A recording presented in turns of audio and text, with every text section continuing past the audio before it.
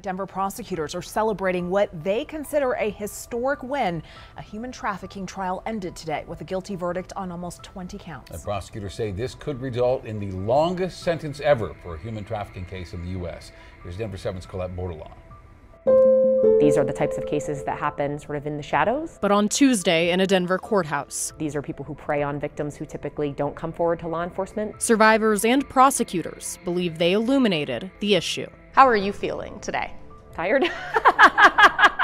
it's been a really long month, and we've been working on this case for many, many months. Chief Deputy District Attorney Laura Mullen was the lead prosecutor on a three week trial against Robert Hawkins, a case where charges span from 2018 to 2021 and include four counts of human trafficking, one of which is related to a minor. I wasn't going to walk away from this case until it was done. Mullen says there were a handful of victims in the case, which was first brought to her attention in 2019. I think it's a tremendously significant case. I mean, we could end up with the longest human trafficking sentence in the country's history. On Tuesday, the jury returned a guilty verdict. Depending on a variety of factors, Mullen expects a sentence of more than 400 years. The fact that the jury found him guilty of 18 counts speaks volumes about one, the fact that they um, were educated a little bit more about this crime. An arrest affidavit says one victim described Hawkins as her quote, master. In human trafficking, the proper word is trauma bonding. It's like a form of Stockholm syndrome. In this case, when they found victims who had substance abuse or maybe didn't have a place to go or maybe were on the run because they were children and all of these other array of reasons that doesn't give an excuse to an abuser or a trafficker to exploit them, but that's exactly what he did. Janelle Goodrich was appointed to this case five years ago and has helped victims through the process. It happens to be Women's History Month still, and this case was brought forward by women women, investigated by women, advocated by women, and prosecuted by women. Through Goodrich, some victims gave us statements. One of them says in part, I can finally say I'm free. I am so happy we won. and I'm so happy that they were believed. And I'm so happy that we're here. The defendant is set to be sentenced in June. Colette Bordelon, Denver 7. And we requested an interview or statement from the defense attorney, but have not heard back. Taking a closer look, Colorado lawmakers are taking steps to crack down on human traffickers. Senate Bill 35 proposes extending the statute of limitations on adult human trafficking charges from 3 to 20 years. And that would give victims more time to come forward and prosecutors more time to pursue charges. It would also create mandatory minimum prison sentences for those convicted. The bill passed out of the House yesterday and now goes back to the Senate. For Developing now an incredibly lengthy sentence handed down in the last hour and a half in multiple human trafficking cases. The victims of this man, Robert Hawkins, detailing the horror they went through before a judge delivered that sentence that'll take multiple lifetimes to fulfill. Fox 31's Nicole Fierro joins us live at the courthouse with this historic sentence. Nicole. Yeah, 448 years. Robert Hawkins is now facing, and the head prosecutor says that she believes this is the longest human trafficking sentence in U.S. history. The longest one before this, also out of Colorado, that was 401 years. News victims tell us they're happy that they faced their fears, they testified, and spoke to be a part of this history. Now, 448 years came out of more than a dozen counts against Hawkins in three cases that covered seven victims, four adult women, two juvenile girls, and one man we heard from them. The 13 year old girl who said Hawkins was 40 when she was manipulated by him. She is 17 today.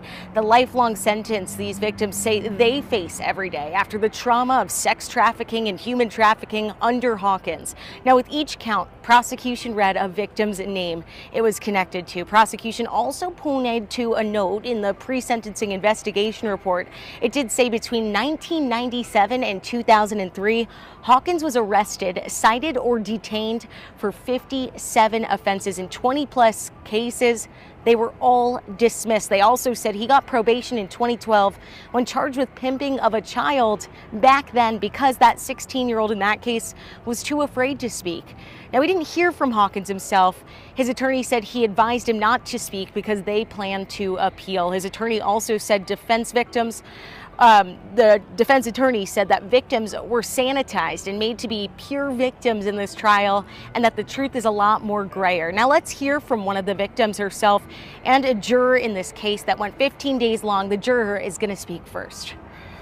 The weight of it knowing that so many people had experienced such trauma and such over such long periods of time, it was really just difficult to hear those testimonies and those stories. It feels great.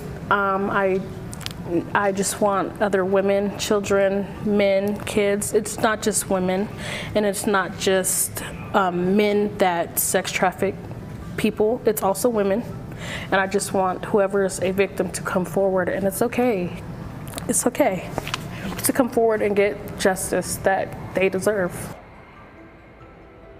That victim tells us the first time in years tonight she believes she is going to sleep well tonight, that it was scary seeing him in court again. Now, also, this ended right around 4 o'clock, immediately after we spoke to the juror, the victim. Then we went right into a press conference with the DA, the FBI, Denver police. They say that they hope this historical sentence sends a message that human trafficking will not be tolerated in this community and will be aggressively prosecuted. We'll hear a lot more from them coming up tonight. Reporting live here in Denver, Nicole Fierro, Fox. Dozens of victims involved in human trafficking have been rescued from some pretty dangerous conditions, all in Colorado. Tonight, what the FBI did here in our state under the sweeping sting Operation Cross Country. Good evening. I'm Bart Bedsole. Heather Skold has the night off. More than two dozen human trafficking victims from Colorado are safe tonight. That includes eight children that federal agents believe were exploited by drug dealers across the state. The goal to put a dent in a cross country problem targeting vulnerable people for profit. Investigative reporter Sean Rice is live in our studio tonight with more on the sweeping operation. Sean? About a two day undercover operation in July rescued 27 victims of human trafficking who the FBI says were targeted through manipulation. Through the help of local agencies like Colorado Springs Police and the El Paso County Sheriff's Office, FBI Denver says this annual crackdown brought multiple criminal enterprises to their knees. Human trafficking, and especially sex trafficking for children, is a persistent and particularly destructive threat that causes unthinkable harm to the most vulnerable members of our society. FBI Special Agent Mark Michalek says a two day mission in July called Operation Cross Country helped bring more than two dozen human trafficking victims back home to Colorado. Michalek's team, along with 40 local law enforcement teams across the state, used surveillance techniques to arrest five people for crimes tied to trafficking young children for sex. This isn't a kidnap off the street scenario that you might see in a movie. What we see is sex traffickers identifying vulnerable minors and exploiting them through different methods of psychological or physical control. The FBI says the victims were targeted by low level drug dealers who are resorting to selling people for more money than can be acquired in the sale of illegal drugs. Federal agents are now urging the public to be aware that these crimes are more prevalent than you might think. I don't think it's on people's radar. It doesn't happen here. It happens in certain neighborhoods, or that's something you just see in the, in the movies. And as we've demonstrated, that is, that is not the case. All of those rescued victims have been given numerous resources to recover, including food and clothing, medical help, or even temporary shelter if they need it. Reporting in the studio, Sean Rice, 13 Investigates. Our kids are being trafficked right here in our backyards. Here are the stats. Over two days in July, FBI Denver recovered eight kids and 19 adult victims of sex trafficking. And this problem is here. It surpasses all demographics. Um, it is across the board, and so it is something that parents um, should have on their radar. They call it Operation Cross Country 13, which also located 14 children and resulted in five arrests. Mark Michalek, the FBI Denver special agent in charge, says the crime doesn't happen like people think.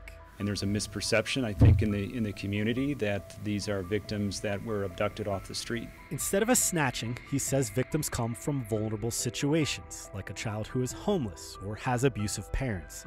A Denver police lieutenant says traffickers look for these kids to exploit. The traffickers often find that providing drugs, food, and shelter is a successful means to manipulating their victims. Once in their grasp, Lieutenant Aaron Rebertorano says traffickers try to find ways to hold on to the victims. And then offer them to other individuals, associates, for sexual acts. He says many of the traffickers are lower level drug dealers or gang members. That have figured out that selling a human being for sex acts is more lucrative than selling narcotics. The FBI would not give names or share details of the five people arrested, But additionally, a spokesperson says agents and local law enforcement are continuing to investigate eight other suspects. It really is a marathon, it isn't a sprint when it comes to these cases. In Denver, Aaron Adelson, 9 News.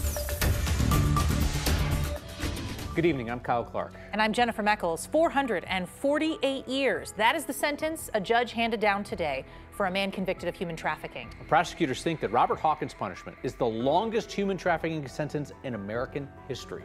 Nine News reporter Rachel Kraus joins us after being in the courtroom today as he learned his punishment. Rachel? And yeah, it was an emotional moment for a lot of the victims and their families. But before even that, victims had the chance to speak to Hawkins in the court. One victim says she was just 13 years old when she became one of his victims, saying he's the villain of my childhood, describing him as a scary large monster that she still hasn't recovered from. Inside the courtroom, many of Robert Hawkins' victims sat, listening as the sentence was read out. 448 years for human trafficking six victims. After court let out, we spoke with one. We're not identifying her at her request. I was happy he got found guilty. The sentence, I was like, I don't know any of these words that are going on, but after the end of it, 400 over 400 years, I'm like, yes. Nearby sat jurors that voted to convict Hawkins on 18 counts. Absolutely. Including Juror 8, who asked us not to share her name. It meant a lot to be part of that and know that we got to see justice to, today and on that day. For 15 days, she heard evidence and testimony from victims that Hawkins had forced women, men, even kids into prostitution, beating them if they ever tried to leave or even made him mad. They were heartbreaking. They're really hard to hear, and they're going to carry this with for the rest of their lives. And knowing that this person isn't going to be able to cause harm to anybody else is huge. The victim we spoke with says she still carries the fear and trauma every day. She says she never expected to face her monster years after she got away. But now, comforted that today it's him going away for good. I'm happy. Just glad, relieved. So now I'm going to go home and just pray and just thank God for this beautiful outcome. Hawkins' attorney declined to speak with us after today's sentencing. In the courtroom, they told the judge Hawkins didn't want to make any statement. And even before the victim's statements or the sentence was handed down, they told the judge they'd be filing an appeal in the case. What's going on, you guys? Welcome back. Another episode of Greenlit Gang TV. Uh, appreciate you guys checking out the channel. We're going to be switching it up today. We're going to be going to Denver, Colorado, uh, about a case that pretty much just got wrapped up a few weeks ago. We're going to be covering a guy uh, by the name of Robert Hawkins out of Denver, uh, Colorado. He was convicted of human trafficking on a huge scale. And on June 8th, 2024, was given what many believe to be the longest sentence ever given to somebody in this country uh, for human trafficking. And interestingly enough, um, the two longest sentences given for human trafficking have actually come out of the state of Colorado. So, anyway, Robert Hawkins was given 448 years behind bars. Yes, 448. So, basically, you're just going to round that up to 500 years almost. Um, and it said that it technically was the second longest at first, but the, the one that was ahead of it had gotten adjusted down to like 401. So, Robert Hawkins, yes, given 448 years for human trafficking. Um,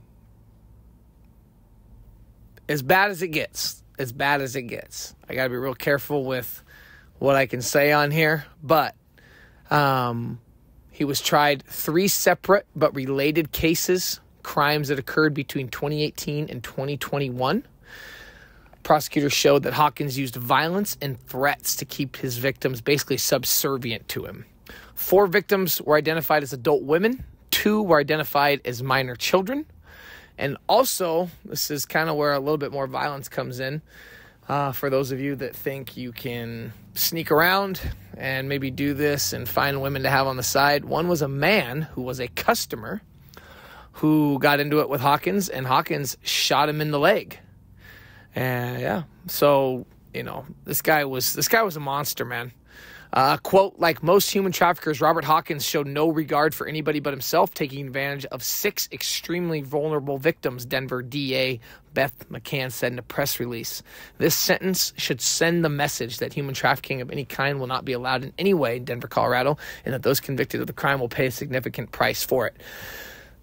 Um, one victim described Hawkins as her, quote, master and said the girls he controlled had to serve him, quote, by doing things, making him meals, and making him money. Just crazy by performing certain acts. The girls were required to make a minimum of $500 per day they were also required to make a $5,000 quota to gain Hawkins' trust. This quota was intended to help pay for a fake ID, a fake birth certificate in order for the girls to travel and work in different states. Uh, prosecutors say Hawkins used a popular online escort ad website to advertise uh, his workers with listings in Denver and Los Angeles. Now, the number one cities for basically human trafficking are Houston, uh, Los Angeles, California, and Houston, Texas. If you didn't know. Um, an adult victim came forward in December of 19, and basically that prompted a two-year long investigation. So a search warrant was issued issued in October of 2021. He was finally arrested in November of 2021. During the sentencing hearing, a defense attorney pushed. So his defense attorney, which he did his job, right? And this is kind of one of those cases where it's like very hard to defend okay? But again, I've talked about this in other videos. This is why I love our and and it really is. This is why I love our criminal justice system because everybody, and not saying Robert Robert Hawkins is a bad dude on the worst levels. Okay, I'll just say it. Um, but but you have got to have that person continue to maintain their rights, um, no matter what.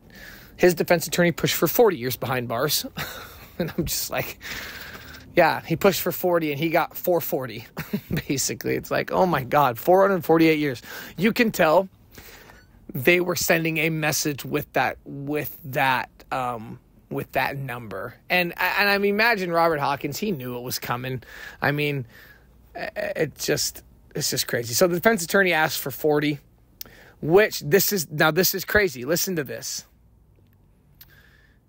The prosecutors had initially offered this to him during plea negotiations, but prosecutors pushed back, noting the plea was offered to stop the victims from being re traumatized by having to go th- not go through the trial. But Hawkins turned their plea deal down. So, yes, Robert Hawkins was offered 40 years, which, yes, that's 40 years. Okay, that's a long time. But my God, he just got 448 years. Oh, and we were talking about him being initially the second one, but then became the top sentence ever.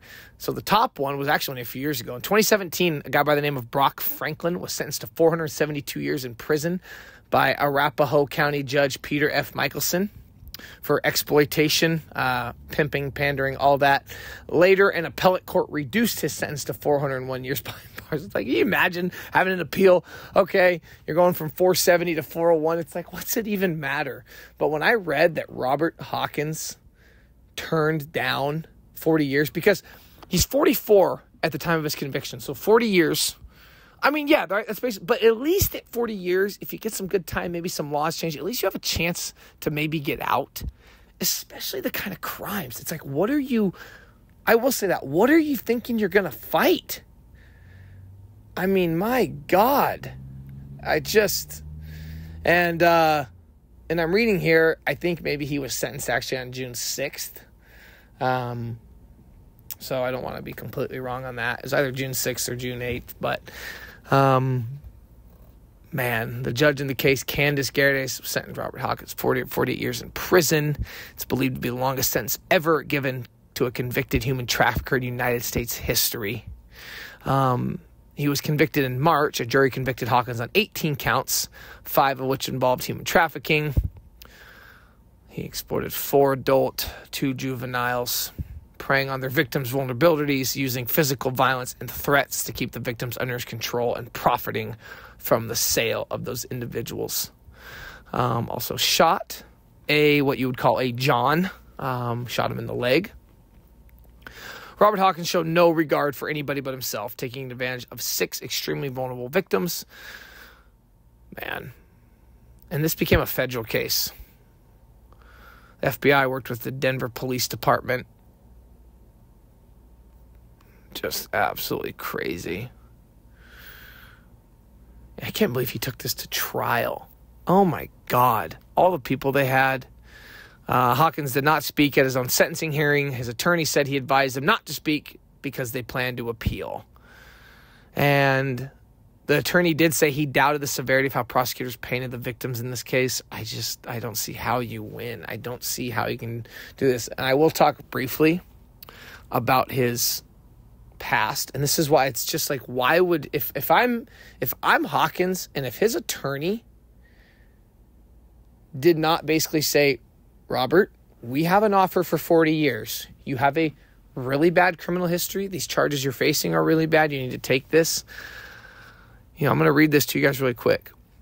Prosecutors pointed to a pre sentencing investigation report that said Hawkins was arrested, cited, or detained for 57 offenses in more than 20 cases that were dismissed between 1997 and 2003.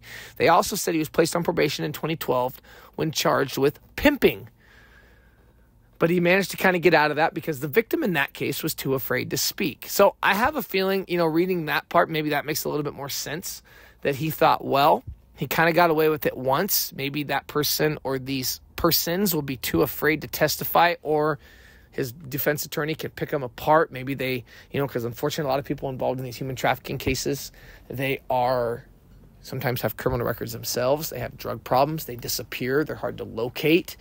Um, you know, two year long investigation, people disappear, especially if you're dealing with people in the streets, you know, uh, and that's sad, right?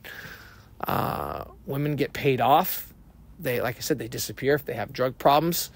They end up five states away, or they refuse. They refuse to testify. They're afraid to testify. If they're going to remain in that life, they don't want to be known as a cooperator.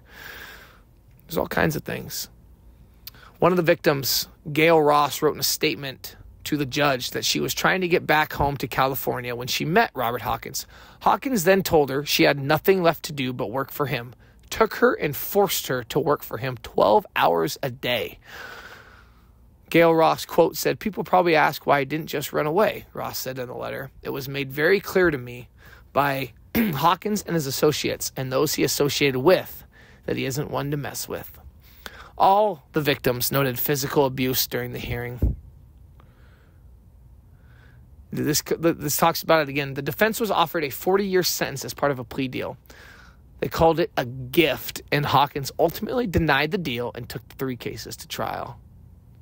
I'm sorry, but that's just not smart. The trial lasted 15 days, ended on March 26th. Hawkins was convicted on 18 charges three counts of human trafficking, SA uh, on multiple people, assault in the first degree multiple instances 18 to 21 my god yeah and finally it says in the current case the victims were not afraid to speak out against the man. Multiple people including the victims and parents spoke during the sentencing hearing. I may not have had a perfect childhood but the worst time of it would always be what he did to me a victim uh, using an alias said. Quote, maybe 500 years will make the light bulb go off in his head that he is in fact not in the right, not in charge, not allowed to treat other humans as he does, end quote. Hawkins sat emotionless in the courtroom. While Hawkins did have family or friends in the courtroom, they didn't speak during the hearing either. I came forward, this is another victim, her name was Willissa Stanton. I came forward not because I wanted to be vengeful or angry, but because there were juveniles who needed to have a voice for them. No man should have the right to do what he did. For the rest of their lives, they're going to have to fight this too. it says that although he was sentenced to 48, 40, 448 years overall, he was actually sentenced to more than 700 years, but the judge ordered some sentence to be served concurrently. At that point, it doesn't even matter. So anyway, there you guys have it. Wanted to do a uh, a quick story on this. Like I said, guys, I like to do stuff that interests me, change it up. Please keep up the views. Please please keep up the subscribers. It means a lot to me. Until next time, see you later.